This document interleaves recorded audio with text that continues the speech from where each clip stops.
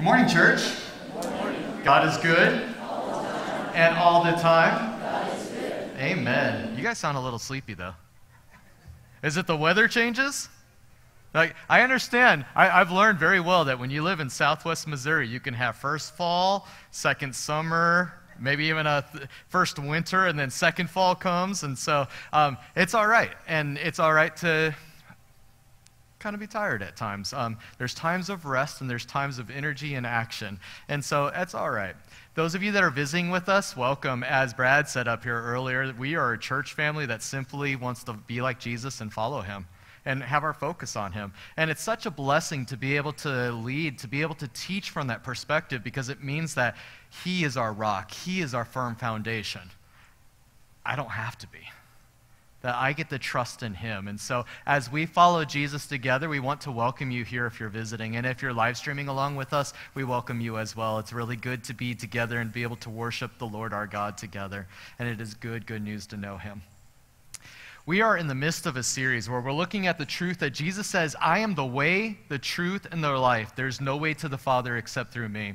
And in the midst of that series, we come to a realization that not only is Jesus our Savior who shows us the way to the Father, but in showing us the way to the Father, He teaches us.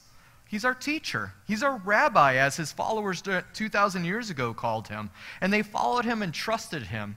And in the midst of that, we recognized and we looked at the history of it that when a rabbi said, Come, follow me, and said, You can be my student, that means that rabbi believes in his student. To first of all learn how to be like him, to recognize the truth that there's learning that needs to be done. There's growth and fixing or whatever, however you want to call it, as a teacher that needs to be done. But the outcome of that is that that student is able to be like the rabbi. And if we look at Jesus and recognize the truth that he is perfect and without sin, we recognize the truth that means Jesus believes that we can be the same as well. I find that really interesting. Because in the Sermon on the Mount, in the midst of the series that we've been talking about, that we've been studying, that we've been looking at together, and hopefully that you've been reading throughout the weeks as we've been going over this, I've noticed that Jesus really calls us out towards perfection.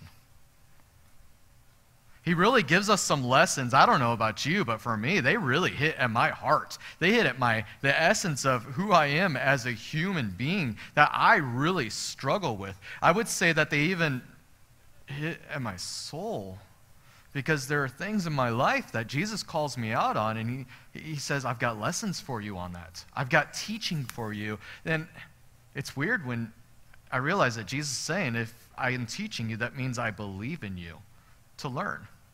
And he says the same thing to you.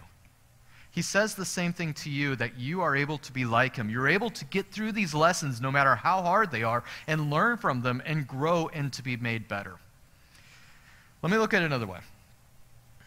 When we sing the song, The wise man built his house upon the rock, and the foolish man built his house upon the sand, and the rains come tumbling down, and the floods come up, we often look at the storm of all that, and we look at the house and what that all means, and we forget about the truth that everybody that owns a house realizes that there's, when you move into that house and you're like, oh, this is my perfect house, after hopefully a couple of years, but oftentimes after a couple of months, you look at your house and go, oh, my perfect house needs work. There's leaks that need to be repaired in the plumbing sometimes. Um, maybe when cold weather comes in, like what we're going to get in the next couple of days, and you forget to close off uh, um, your outside faucets and cover them up and disconnect the hoses, you're going to find a, fa- a valve that's broken in a couple of days if you forget about that. By the way, that's my warning for you homeowners to disconnect your hoses today because you're going to need to. But if you forget about that kind of stuff, there's repairs that need to be made. When storms come, sometimes siding gets broken or windows get damaged or gutters need to be fixed. Um, even when the leaves fall or in the spring when all those weird squiggles off the oak trees fall, you've got to get up there and you've got to be able to fix those things because it's part of owning a house. You've got to keep it clean. Some of us do better than others. And when you have two young kids in the house, it's really, really hard. But you've got to take care of it. You've got to clean it because otherwise, other things will come move into the house and start infesting it and having issues. And it's got to be your perfect house that you remembered. you set it up and shape it and stock it and maintain it so that way you can have guests over.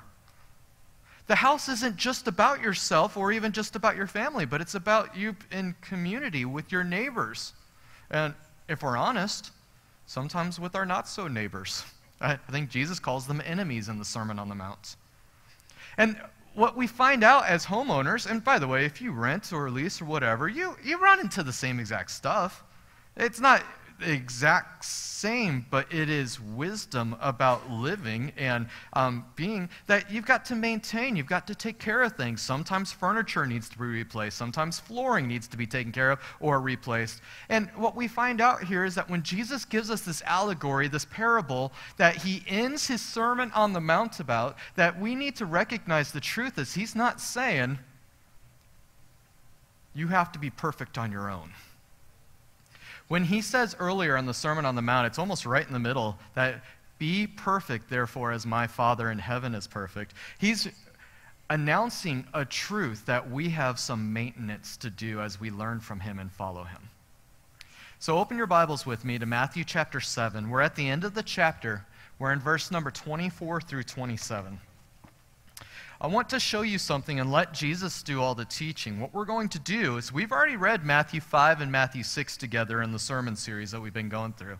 We're going to read Matthew 7 together, and we're going to actually go through backwards, chunk by chunk, looking at what Jesus does here with his teachings. Because, as we found out in our morning Bible class this morning, that as kids, when we hear that the wise man builds his house upon the rock and the foolish man builds his house upon the sand, we don't really make this practical an application about our lives. Instead, we think about the houses and the rocks and the sands and the storms and forget that Jesus is really talking about us and what we can do practically to be the people that we were meant to be, to be these strong houses that have a firm foundation. And so let's read this and maybe, and then go back, and maybe we can learn something from the Sermon on the Mount that when Jesus says, Be perfect, therefore, as my Father in heaven is perfect, we can recognize the truth that though we do have some repairs some t- at times for our house, that what Jesus says is that if you're built on a firm foundation, on the right foundation, that it'll be all right. It'll be good. And even when the storms come, and there might even be some storm damage from the storms, that the house is still livable and it is still good. And I'm going to argue from the rest of Scripture that God can dwell in it. Matthew 7, verse 24. Everyone then who hears these words of mine and does them will be like a wise man who built his house on the rock. And the rain fell down, and the floods came up, and the winds blew and beat against the house but it did not fall. Notice he doesn't say it did not get damaged, it did not fall because it had been founded on the rock. And everyone who hears these words of mine and does not do them will be like a foolish man who built his house on the sand. And the rain fell down, and the floods came up, and the winds blew and beat against the house, and it fell, and great was that fall. I love how the kids, when the foolish man's house went smash, they're, they're all about that part. So much so, I think one of the adults said that they had to watch out for their friend that was next to them because they were worried that they were going to get hit by part of that smash that was going on. Jesus has wisdom for us. He has teachings for us that he believes can impact our lives and bless us and be there and he believes that so much, he uses a parable to say, Hey, I've got teachings for you. And here's what happens if you pay attention to them and make them a part of your life. So I want to encourage you, church, as we go through chapter 7, going in reverse order, I want to encourage you, remember that the whole purpose of this, of the Sermon on the Mount, as Jesus concludes it, is that we hear his words and obey them and learn them. Look what he says here in verse number 21. Not everyone who says to me, Lord, Lord, will enter the kingdom of heaven.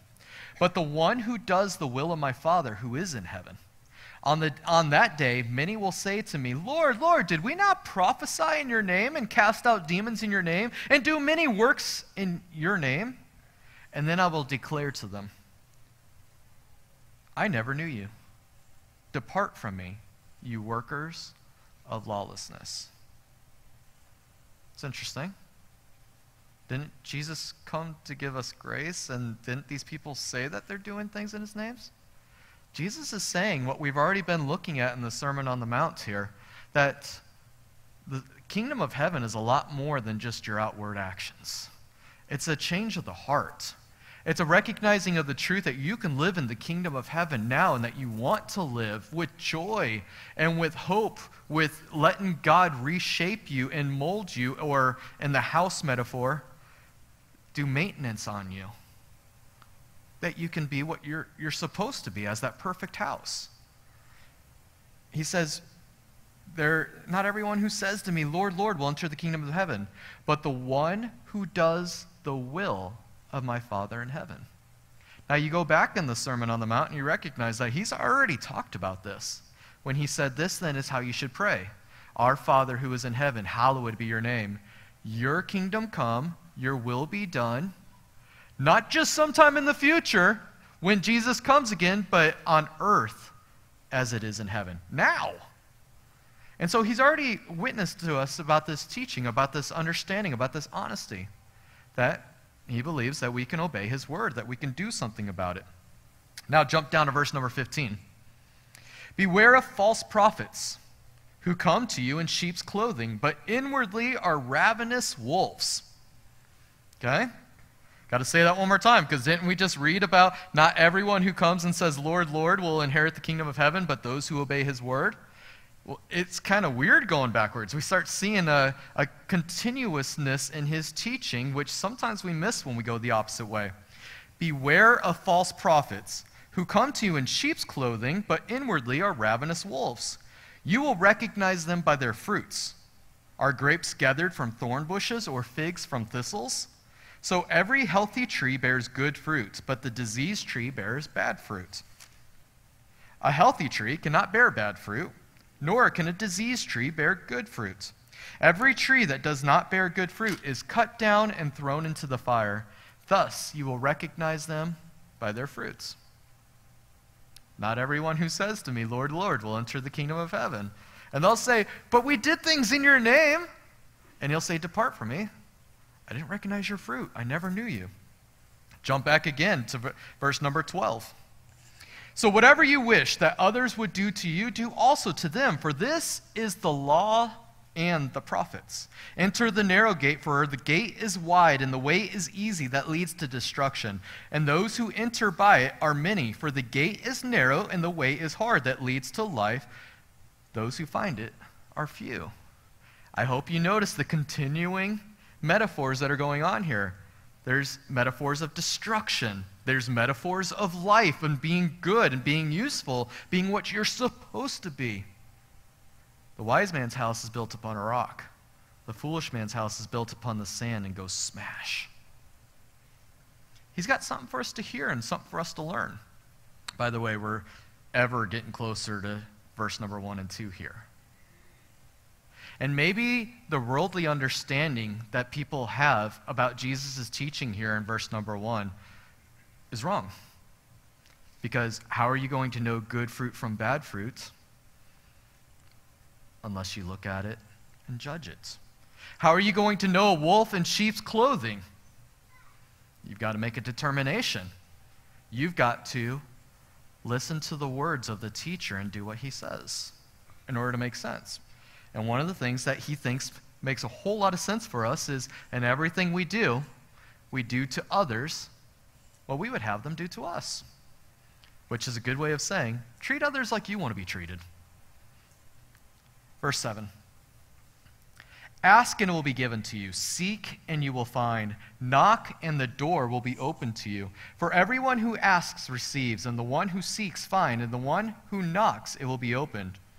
Or which one of you, if his son asks him for bread, will give him a stone? Or if he asks for a fish, will give him a serpent?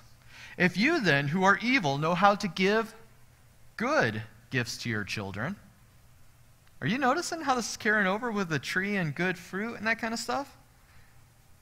How much more will the Father who is in heaven give good things to those who ask him?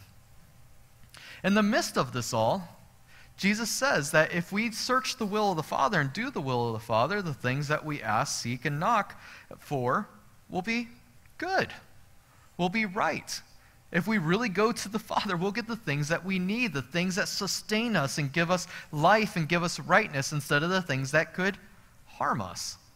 He says, What kind of father would he be if the son came to him and asked him for some bread, would give him a stone instead? By the way, remember what happened in the uh, wilderness when Jesus was really hungry? What Satan said, Hey, look at this stone.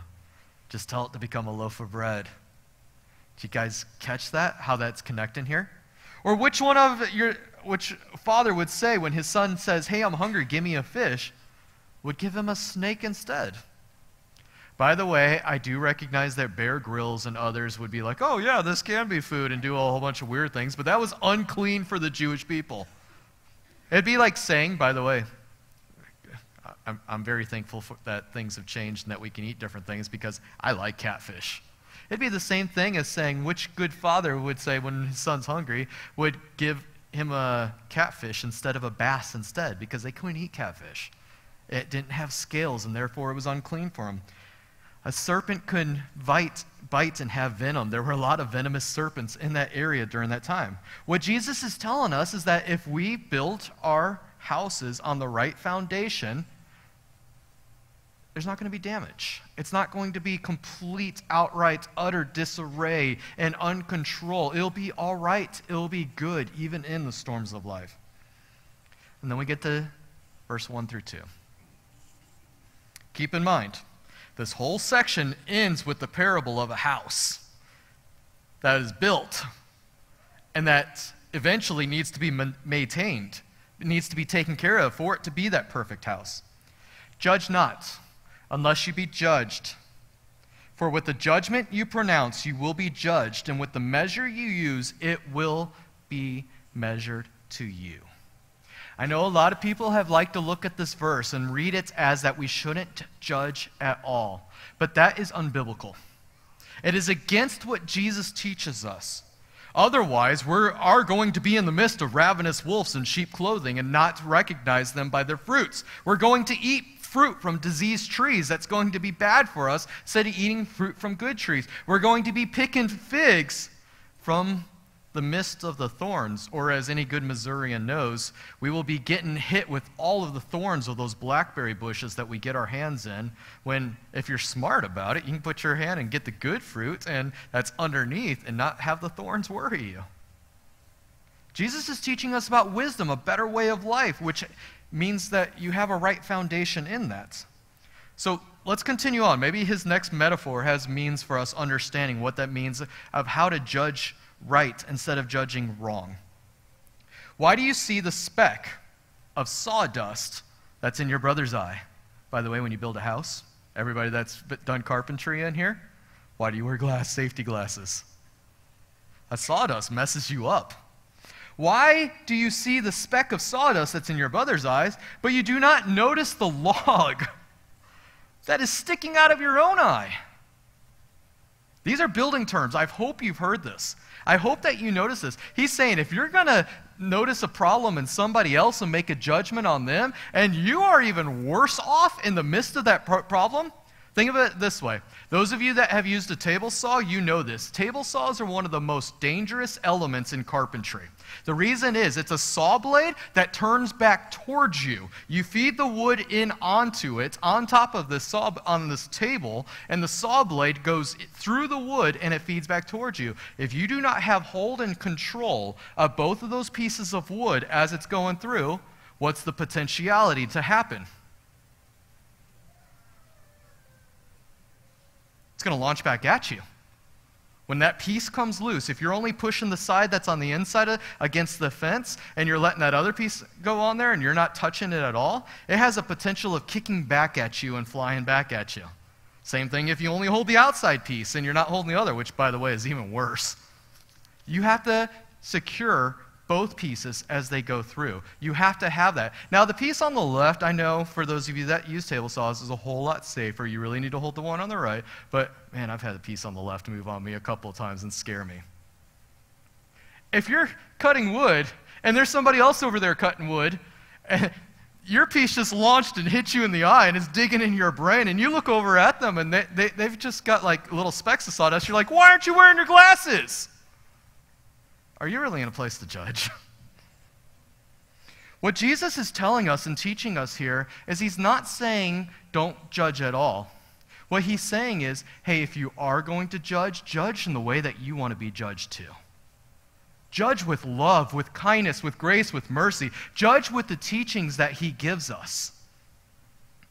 So when he says things like, You've heard that it was said that you shall not murder, I say that when you get angry at your brother, it's like murdering them. Or you've heard that it was said, don't commit adultery, but I tell you that if a woman even looks, or that if a man even looks at a woman with lust in his heart, you can say the same thing in reverse. I think Jesus is okay with it. That if a woman even looks at a man with lust in her heart, she's committed adultery.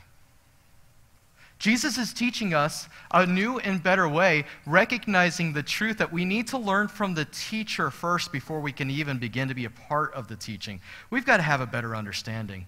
So if you got a log, of a two by four sticking out of your eye while you're doing some construction work, and the guy next to you just has a bit of speck of sawdust, well, let's see what he says about it. Or how can, he, how can you say to your brothers, verse 4, let me take that speck out of your eye when there is a log in your own eye. You hypocrite, first take the log out of your own eye, and then you will see clearly to take the speck out of your brother's eye. Did you catch that? He doesn't say, don't ever take the speck out of their eye. He says, do something that's wise before you do that, so that way you're treating them like you would want to be treated. Because I don't know about you, but if I've got a speck of sawdust in my eye and somebody's like I don't know, just accidentally cut their fingers off on a, on a saw. I don't want them coming and helping me at that moment. They're not in a good, safe position to come and help me, right? We've got to live better and live wiser and have our foundation be firm first. Do not give to dogs what is holy, and do not throw your pearls before pigs, lest they trample them underfoot and turn and attack you. We go back to the parable, to the allegory that he says at the end of all this when he says, The wise man builds his house upon the rock. Anybody that listens to these words of mine and obeys them is like a wise man who builds his house upon the rock. And when the storms come, the house stands. Doesn't mean that there's not going to be damage. And one of the other ways that we need to look at it is if we've got our houses built on the rock, it doesn't mean that storms aren't going to come. What it means is that we have the wisdom and the learning from the lessons as we follow Jesus to be established and rooted on the foundation that is good. And I'm going to argue that he means himself. That he means him and his wisdom.